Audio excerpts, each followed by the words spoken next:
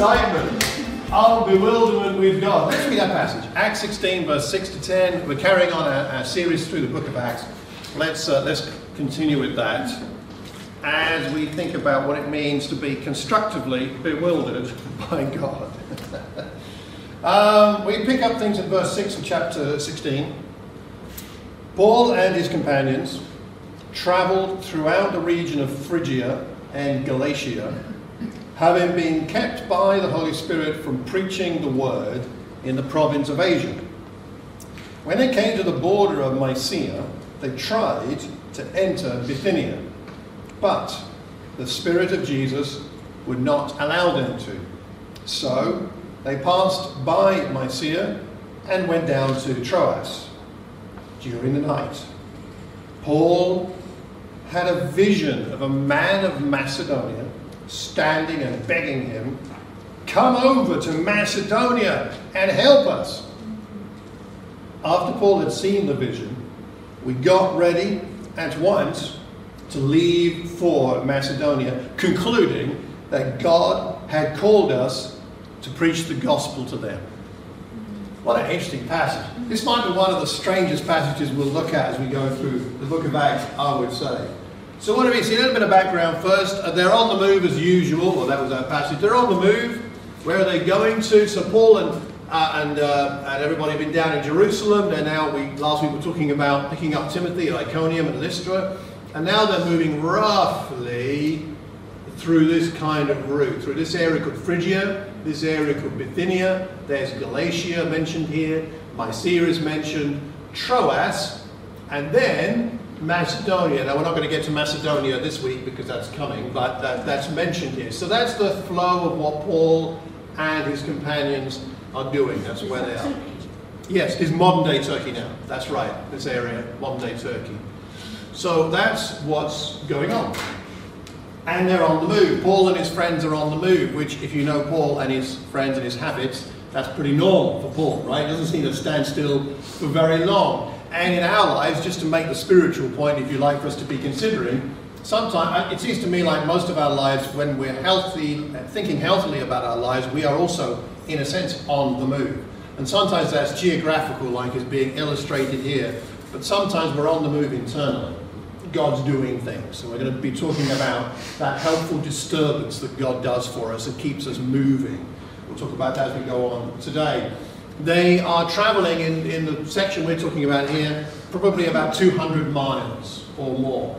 So there's a lot of journeying. Now, I don't particularly like even driving 200 miles, if I, unless I have to. But imagine, imagine walking 200 miles. What's that Proclaimers song? 500 miles. Like 500 miles. Okay. Uh, I, I, yeah, I, I don't know about 500. I don't know about 200 this is a lot of journeying, and the point I want to make at the beginning about that is this is not just an overnight thing, it's not just a short thing. This is a big part of their life. This is a big part of their day, their, their week, their month, their year uh, of what God is, is doing here. And there are a lot of weird things going on in this passage. I mean, weird at least on one level, right? The Holy Spirit is doing things, the Spirit of Jesus is doing things. There's a vision, there's a man standing and begging. I mean, all kinds of strange things going on. And we could well ask, what is God doing? And I'm sure that Paul and his companions were asking the same questions. We're trying to go here, it's not going to work. We're trying to go here, that's not going to work. We have a weird vision. What, God, what are you doing? And that's rather reassuring because sometimes I think we think about when the disciples were with Jesus or in the early days of the church when the Holy Spirit seemed to be so present and powerful, surely it was simpler. You knew what God was doing. But actually, it was no more simple and clear to them than I think than it often is to us today. What is God doing? What the question I have in my mind is, since I think they were quite bewildered, I think I would have been, by what's going on, as it became clearer and clearer, eventually, but still it's quite bewildering, I think they must have been asking, what is God doing? And then, is there a way to enjoy the, the journey?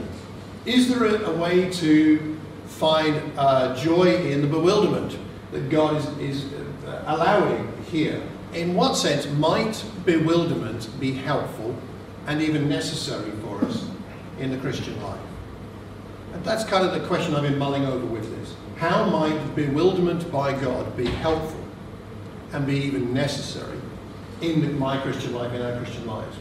So we're going to talk about two things today. First of all, we notice that in this passage, God closes doors and God opens doors. That's clear. God is, oh yeah. So that's what happens to me when I'm bewildered. so I feel somewhat like that. What is God doing? Let's get rid of that image. Um, God closes some doors and God opens some doors, right? Sometimes God does things in a sense negatively. Like for us as a congregation, we tried to get the Croxley building, the, the old Explore building in Croxley, not once, but twice. We tried to get it the first time with the church Growth Trust, and the second time to see if we could sublease it off uh, Christ First that now had the building. We, we tried twice, and God said no twice. That's, that's kind of a closed door, isn't it? I think that's a closed door. I think God closed it. I think. I, I would trust that. God said no.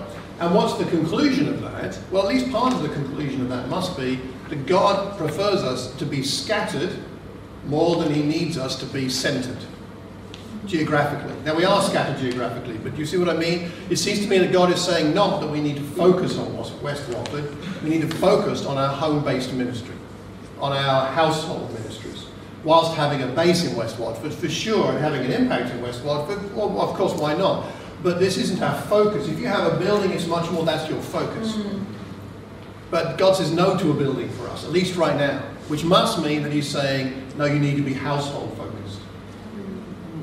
And I would like to encourage us, this is my, isn't my main point today, but I'd like to encourage us to be thinking now about what that might mean for 2020 for your household. It's October, it's mid-October. Uh, it will almost, it will be Christmas before you know it. I'm planning the Christmas carol service now, right? You have to, right? But what about next year? What, what might, what door might God open if you shut that door? What door might God be opening for you to be effective for the kingdom of God using your household as the focus? We have a base here, but it's not our focus. I think there's a big difference. You don't have to have your focus and your base in the same place. So just a thought for us to be thinking and praying about what that might mean for next year. So sometimes it's negative in a sense, sometimes the guidance is positive. And God opens a door, and we've seen that in our own lives. So what I'm going to ask us to do now for a minute is to talk to a couple of people near you, so like huddle up with three, two, three, four people, and have a discussion about how you, now you look back on, maybe even now, but you look back on your life as a Christian. What are some incidences where God shut doors or opened? When you, can you look back and say, now I look back, I can see God shut that door, but another time He opened that door. If you can't think of one, that's okay, but you can think about your life, you can talk about your life and talk about God and uh, think about ideas in the Bible, examples of that if you like. But just take a few moments. I'm going to give us, um, I'm going to give us two minutes. Shall I stretch, stretch it to three? No, I think three. We need three minutes.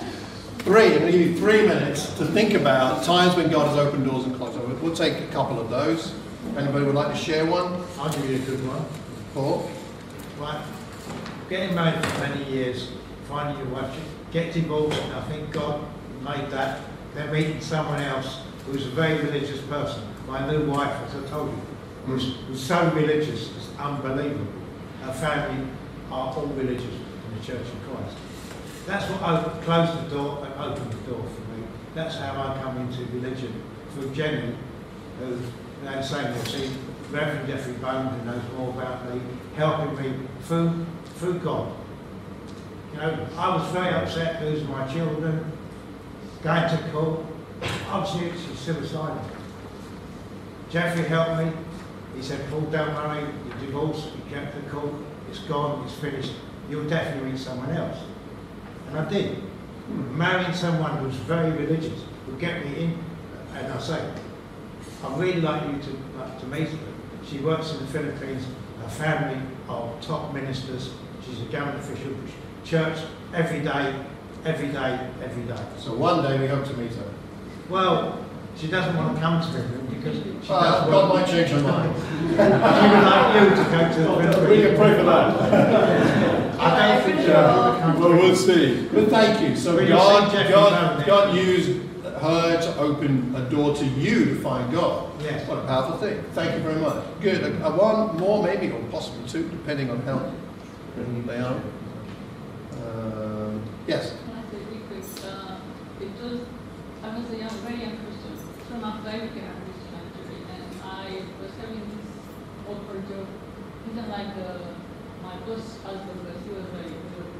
Anyway, uh, and I was living in quite interesting circumstances, but in a week after my baptism, I could see God moving me from those poor living circumstances in a flat with a friend, having my own room, and having my translator job. That was So it all changed in, in a week time, in a week. in a week. Wow. So God sorted it all That out. yeah, exactly. Wonderful. Thank you. Good. Both of those were nice, reasonably short. Good. I mean, you have time for one more, if anybody would like to share. Patricia, go on. Um, so God's closed door for our daughter. Uh, we appealed school, so she so three doors. Um, this was was about to start secondary school many years ago. Um, and then we got a letter to the post, and one of the schools we appealed for, we failed appeal for, God opened the door for somehow. It was amazing. We and it's a fantastic school. It's outstanding Ofsted, and she's and she's still in the school. So Mm. we thank God for that. If that That's sense, everybody. Well done. So close the door and open door for school. Closed door and an open door. Yeah. Closed one school door and opened another school door. No, same school. Same school? Yeah. Okay. Yeah. The door was closed, then it was open. Okay, go on, Dan. I can't deny the best leader of songs for children that I When know. I, when I got invited as a plus one to join at Andrew's wedding, Ah, yes, and, and the significance of that that. was last time my wife. Ah! Excellent. Yes. Well, you know, isn't it? I, it's one of those things I think, when I, when I was thinking about this, I started thinking about closed doors in my life that God had closed and, and opened doors. And for, for the first little while, I couldn't think of much. It took a while to, to, to think through my life. I mean, been, my life's longer than most of our lives here. So it took a while to think through, through it all. But, but, uh, but as you think back, you begin to notice where God shut doors, where God opened doors. Um, and some of them were, were fun and exciting experiences, and some were very difficult. Uh, one of the early ones for me as a relatively young Christian was Penny and I went as part of the mission team to plant our congregation in Birmingham in, in 1988. And it was exciting to go on a mission team. But once I'd been there about a week, I realized this wasn't the right place for me. And I had been praying to go on that mission team for three and a half years. Like it was a big deal to me. It- and for lots of reasons I won't share now for time, but it was a big deal. And I was there, and it was the fulfillment of a prayer, of three and a half years of prayer. And I thought, oh no, this isn't the right place. And I was miserable. And I could not work out, I'm on a mission team, and I'm miserable. That just seems fundamentally wrong on so many different levels. But then we ended up having to pack up and move back down to, to northwest London as it was. And it was a, God closed that door. Now, in, as I look back on it, I think actually, I don't know where I would be if, if I'd stayed there I'd been more and more miserable.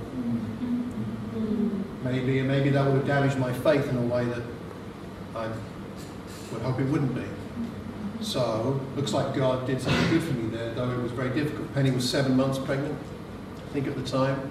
We packed all our belongings into a car, and uh, we had nowhere to stay when we moved back to London. We actually had literally nowhere. We stayed with Anna Morell, some of you may know Anna, who's now up in Edinburgh for a couple of weeks, and uh, we did eventually find somewhere to live. But that was a difficult closed door, but I look back on it thinking, I think God had a hand in that for something very positive. And I think about God opening doors. I think about, and this is a long story I won't tell you now, but I think Penny getting her first medical job in London, which was like a miracle, and then going back into medicine uh, 16 years ago, when all the doors opened up through um, who was working in Northwick Park. Um, what's her name? Yes. Um, um, that lady. Yes. You can see her face. Anyway, someone who was a nurse who was in the church and was in Northwick Park, and uh, and just it just all opened up, and, and it was a government scheme at just the right time for a narrow window for Penny to retrain. And then there was a mistake they made in the admissions procedure where she was supposed to go to this hospital and ended up at that one, but that one was better. I mean, there's such a long list of things. It's bizarre how it wasn't one open door; it was like a cascade of open doors. I think more recently, perhaps for you, Lisa. God shut the door in Austria, he shut the door in Dublin, he shut the door in uh, you know, everywhere. See? And God opened the door in Watford.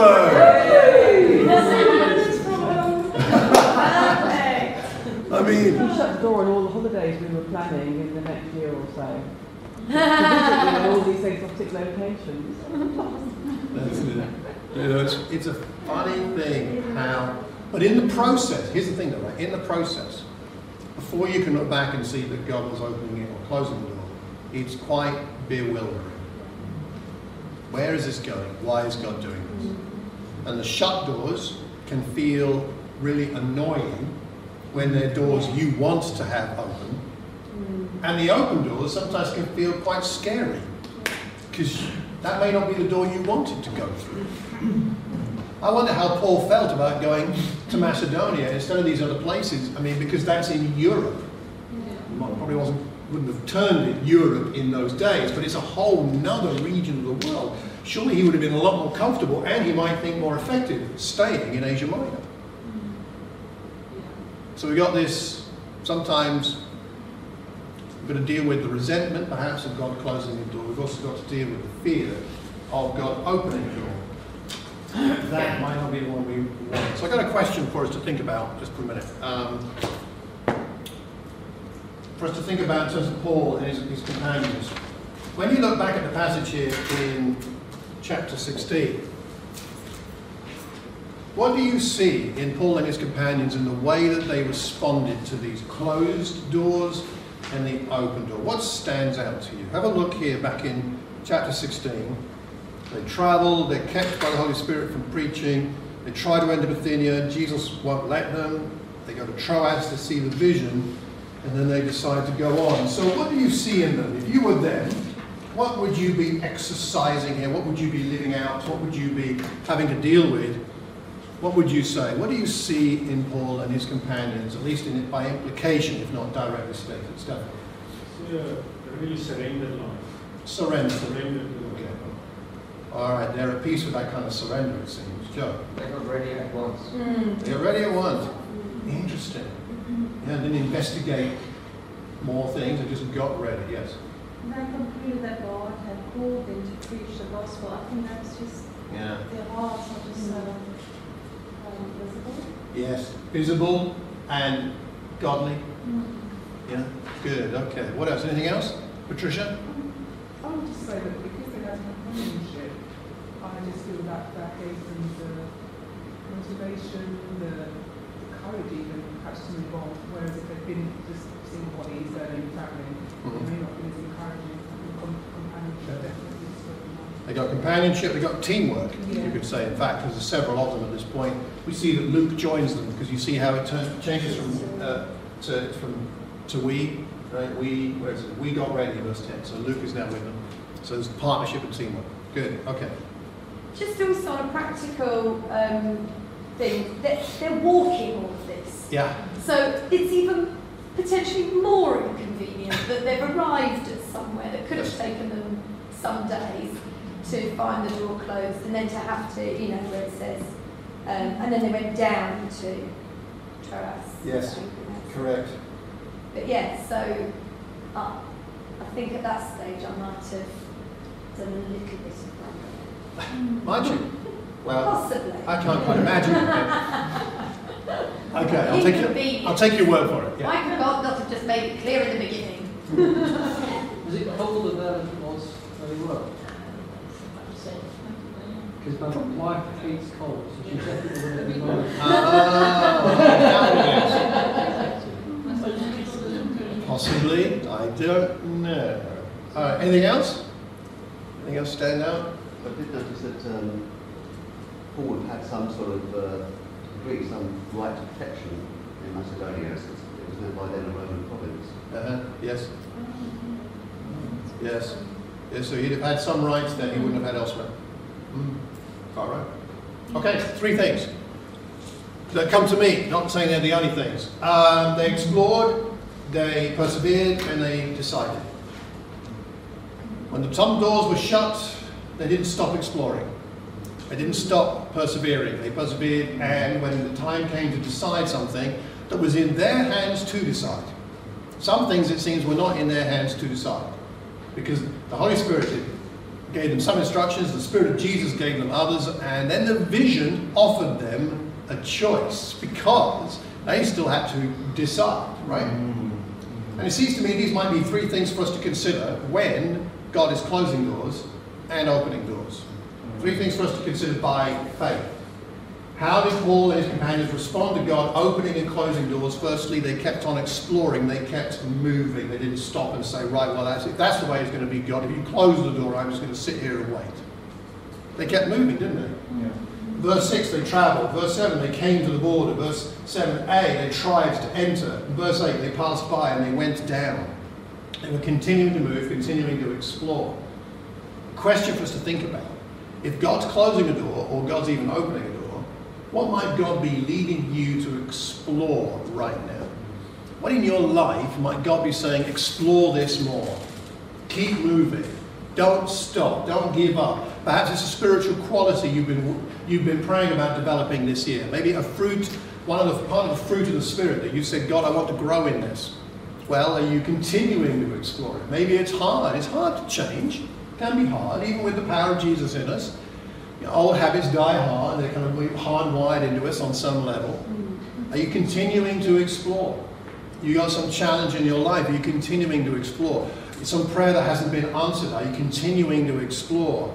Not just being passive and waiting for God to do something, you know, like that.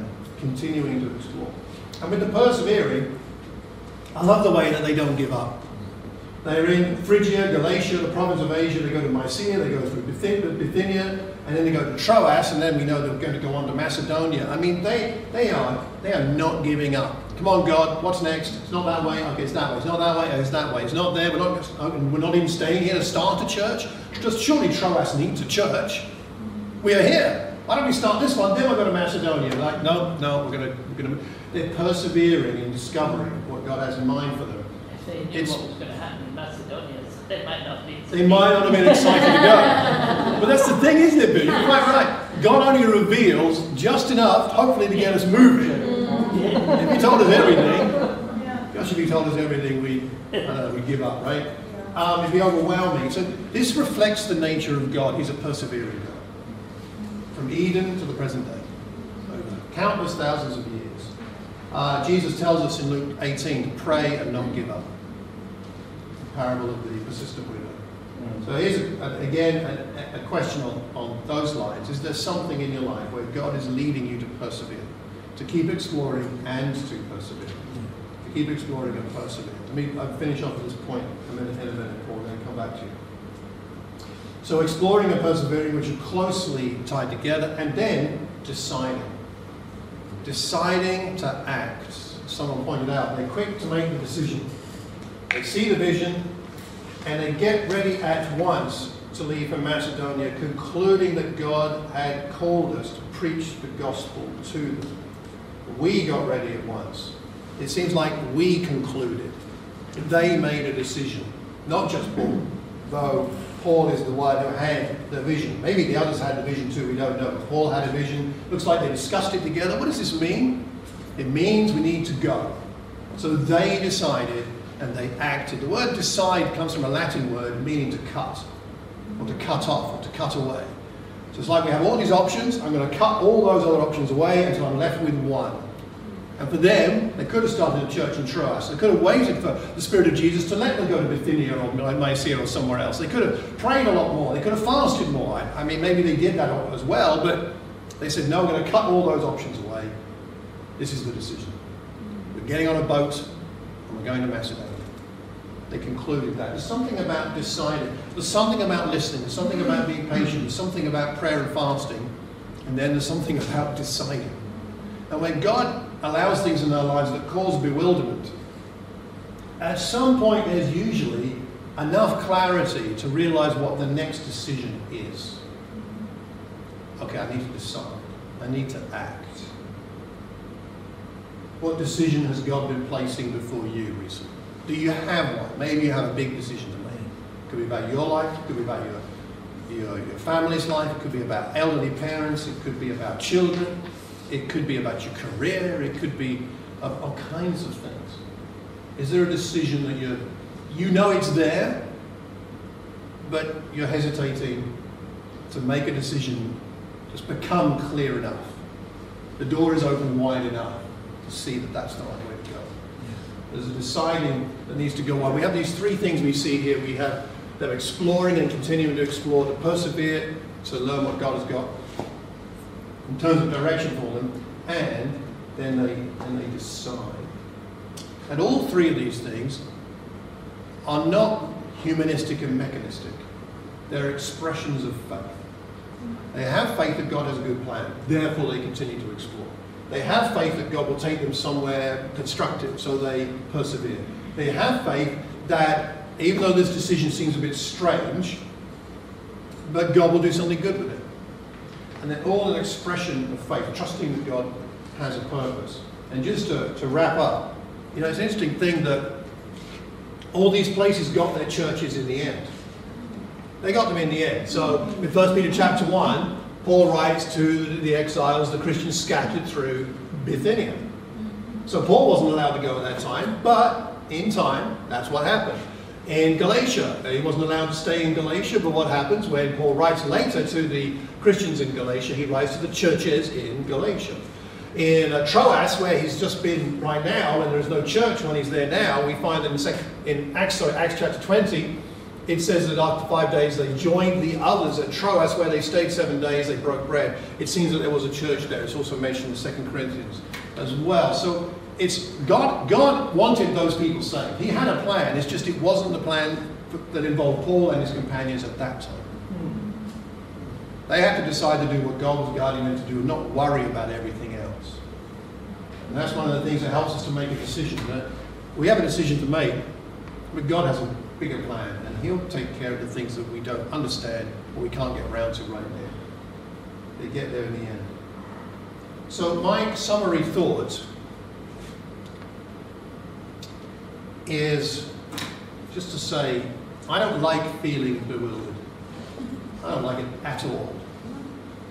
And I've felt a fair bit of that in my life recently with the changes in Thames Valley and the move to the morning services and that kind of stuff and a few other things. And bit strange. And, you know, we've had, our son has moved home, which is, is good in many ways, but also a bit bewildering as to what's mm-hmm. next for him. And I think he's probably a bit bewildered too, I, I suppose. And there's all these things. And but I I suppose at least one of the ways to deal with that sense of bewilderment in your life is to understand that it has at least two blessings. And one is it makes you pray. It draws us to God. There's nothing, maybe nothing, but quite like what makes us pray more than maybe two things. I think one is wonderment at something astonishing. When you, you see your baby born or something like that, or you see an incredible sunset, you think, you know, that kind of makes us wonder, right? But the other thing that makes us really go, God, please, I need you, is when we're bewildered. And there's a deepening in our relationship with God that can happen if we go to God in prayer when we're bewildered. And the second thing that I believe is a, a, a blessing of bewilderment is growth. Is, God is helping me grow. God is helping you grow. God is helping us as a church grow when we're not quite sure what He's doing because we have to draw closer to Him. And He grows through that. To trust in Him, to learn from Him, and to find out what, where the open door actually is. Prayer connects us to the Father, and the growth that happens through bewilderment helps us to become more like Jesus if we see that that is God's 숟가락